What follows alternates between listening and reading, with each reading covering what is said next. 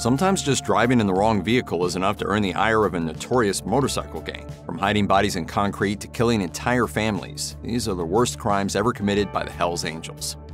It took more than a decade for Hell's Angel Thomas Nesbitt to be brought to justice in Nebraska for the 1975 murder of 19 year old Mary Kay Harmer. Harmer was a former high school friend of Kathleen Ray, who lived with Nesbitt. On November 30th, Ray invited Harmer and her roommate Gayla Jorgensen to what she described as a housewarming party. Nesbitt was waiting at the house, and after the women arrived, it wasn't long before Ray and Jorgensen left, leaving Harmer alone with the biker. Details are sketchy, but it was outlined in court documents that Nesbitt later admitted to Ray and his next door neighbor Wayne Bieber that he may have sexually assaulted Harmer. Nesbitt decided to kill her rather than risk the chance of her going to the authorities. Bieber later testified that he burned Harmer's clothes, and the trio wrapped her body in carpet before dumping it in a manhole in an unfinished housing development. When Harmer's skeletal remains were found nine years later, forensic investigators were able to determine that Nesbitt had unsuccessfully attempted to dissolve her body with lye before disposing of it. Nesbitt was convicted of murder in 1986 and sentenced to life in prison.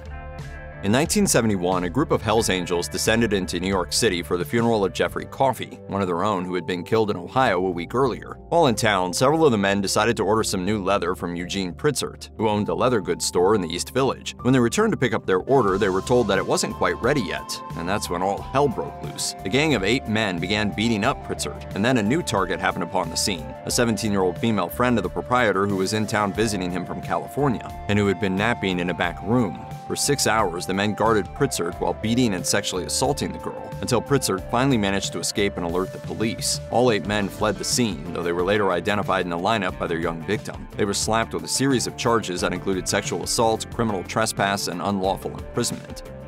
In October 2001, members of the Mesa, Arizona chapter of the Hells Angels took part in a crime for the pettiest of reasons. 45 year old Cynthia Garcia had been brought back to the clubhouse to party by a biker under consideration for membership in the club. According to the book Angels of Death Inside the Biker's Global Crime Empire, Hells Angels Kevin Augustiniak and Paul Eischeid became violent with Garcia when she refused to participate in a sexual act. She was then thrown to the floor and attacked until she lost consciousness. Augustiniak and Eischeid then threw Garcia in the trunk of a car and drove her out to the desert, where they stabbed her to death and partially decapitated her. Augustiniak would be convicted of second degree murder and sentenced to 23 years in prison, while Eischeid received a 19 year sentence on the same charge. This guy uh, hopefully will, uh, will uh, never get out of jail, at least for a long time, for, for what he did.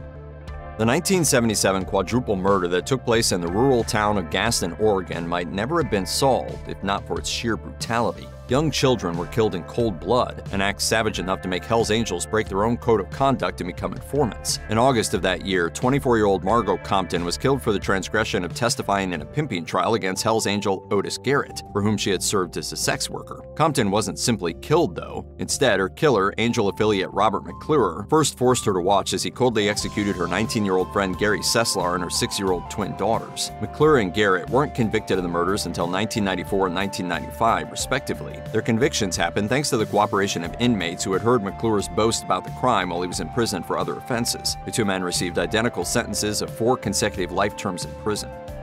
In 1984, a member of the Hells Angels Nomads chapter named David Richards was sent to prison for life after he brutally killed a 16 year old boy named Michael Groves in England. He stabbed him over 50 times and wrote Hells Angels on the wall in his blood. Richards was sentenced to life in prison for the crime, but in 2005 he managed to escape and he remained hidden for nearly a decade. Living under an assumed identity, Richards claimed disability benefits, went on vacations, and basically lived a normal life. When he was finally recaptured in 2014, Groves' family made it clear that they were incensed at the perceived lack of effort on the part of the authorities to snare Richards. In response, Derbyshire Assistant Chief Constable Carl Smethen explained that since Richards was from London, they assumed that he'd be hiding out there, which turned out not to be the case.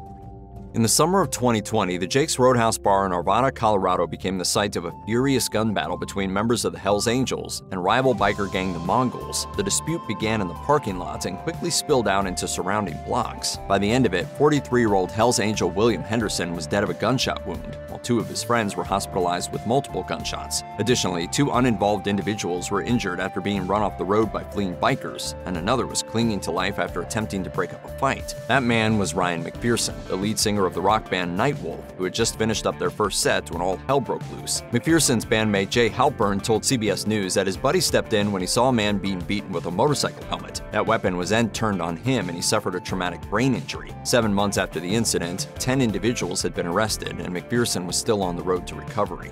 We couldn't believe what was going on. Hells Angels member Robert Garceau and his girlfriend Maureen Bautista were involved in the manufacture of methamphetamine, and the relationship was a volatile one. In the summer of 1984, Garceau became suspicious that Bautista was thinking of revealing his location to Eddie Nash, a drug dealer to whom Garceau was indebted. Then in September of that year, Garceau's suspicions apparently overtook him, and he stabbed Bautista to death at her apartment in front of her 14-year-old son Telesforo before turning the knife on the boy as well. He and several accomplices then smuggled the bodies out in a dresser and concealed them under freshly poured concrete. While no physical evidence linked Garceau to the crime, he reportedly blabbed about it to anyone who would listen. He was eventually convicted of first degree murder and sentenced to death. He died of cancer while on death row in 2004 at the age of 58. David Glasser spent his last few years in mortal fear of Adam Lee Hall, Sergeant at Arms of the Berkshire, Massachusetts chapter of the Hells Angels. A potential witness in an assault case that had been brought against Hall, Glasser had been threatened, intimidated, and beaten up by the Hells Angel. The campaign of harassment ended when Hall and his friends Caius Veiovis and David Chalue abducted and killed Glasser and two others in August 2011. Glasser, his roommate Edward Frampton, and his friend Robert Chadwell were snatched from Frampton's house and taken to an undisclosed location, before they were shot dead and dismembered with a circular saw. Hall, Veiovis, and Chalue were all found guilty of the murders in 2014, with Hall sentenced to three consecutive life sentences. The healing process can begin. One of the most heinous crimes in the history of the Hells Angels was carried out by Gerald Lester and Charles Diaz of the Vallejo, California chapter. In 1986, William Grondalski was expelled from that chapter for reasons that remain murky. Authorities later determined that he may have kept contact open with Terry Dalton, a disgraced former member, and may have also been selling drugs on the side in his club's territory. Whatever the reason, on October 1986, Lester and Diaz paid a visit to his house that Grondalski shared with his wife Patty, his 17-year-old stepson Jeremy, and his 5-year-old daughter Dallas. An argument ensued, and Lester Lester shot Grondalski in the face with a 9mm pistol. Not wanting to leave any witnesses, he then shot Patty and Jeremy as well. Diaz then attacked the young girl with a knife. Lester complained that it was taking too long to finish her off, so he fatally shot her. The two then set the house on fire to attempt to cover up their crimes, but they left behind enough evidence to point investigators in their direction, and both were eventually sentenced to life in prison. In February 1988, Sandusky, Ohio music store manager David Hartlob was found shot to death beside his van. He had arrived at a bank to make his nightly deposits, and at first it appeared like a robbery gone wrong. But then, police discovered that the deposit bag containing about $4,000 in cash hadn't been touched. The trio of men responsible were affiliated with the local Hells Angels chapter, but their targeting of Hartlob was a tragic case of mistaken identity. The men were attempting to eliminate a member of the rival outlaw gang as payback for the shooting of one of their own a year earlier. That man coincidentally happened to drive a van that was identical to Hartlob's. This misidentification led to the Hells Angels shooting Hartlob with a 9mm pistol inside his van. One of the perpetrators suffered a ricochet wound in the process, causing him to leave bloodstains that served as evidence. Stephen Wayne Yee, Mark Verdi, and John Ray Bonds were all convicted of conspiracy to commit murder and federal firearms offenses. And there's really very little that a defense attorney can say when faced with a case like that. Kevin Thorpe and Laura Craig were a young couple who in 1981 made the fatal mistake of stopping for some gas at a convenience store. That was where Hell's Angel Benjamin Psycho Silva and two friends, Joseph Shelton and Norman Thomas, happened to be hanging out. The trio had their eyes on Craig, and when the couple departed, they followed. They used a dashboard light to trick Thorpe into pulling over. Silva and Thomas then forced their way into the vehicle, and they drove the couple to a remote cabin owned by Shelton, with Shelton following in his car. They tied Thorpe to a tree, leaving him outside in the blistering cold overnight while they repeatedly sexually assaulted Craig. Finally, Silva and Shelton untied Thorpe, only to lead him to a hilltop where they took turns shooting him with an assault rifle. They then drove Craig a short distance up the road, made her get out of the car, and shot her dead. Silva and Shelton were eventually sentenced to life in prison, while Thompson received an 11 year sentence after providing evidence against his accomplices.